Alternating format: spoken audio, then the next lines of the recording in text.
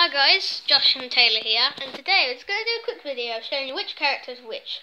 Because you've seen this dude here, this handsome dude, in most of my videos, so I'm just going to tell you which character is which. First off, we're going to start with him. This character is pizza delivery guy, and he's basically me, Josh. And this character in a prisoner outfit is Taylor, and here is Taylor's friend. And here is it's meant, but my actual pet's a cat, but it's just a dog. So, bye guys, and we'll see ya. Bye.